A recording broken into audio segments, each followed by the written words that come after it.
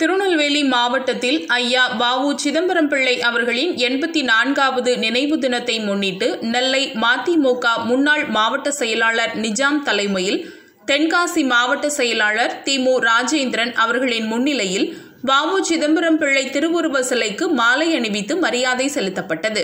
இந்நிகழ்ச்சியில் மாநில செயலாளர் கழத்தியான் பகுதி செயலாளர் மணப்படை மணி தச்சை செயலாளர் சுத்தமல்லி நடராஜன் ஆல்வின் ஆண்டனி பாக்கியம் சுந்தரலிங்கம் மஸ்தான் ராம் மோகன் அன்னை சுரேஷ் சங்கரநாராயணன் மற்றும் பல நிர்வாகிகள் கலந்து கொண்டனர்.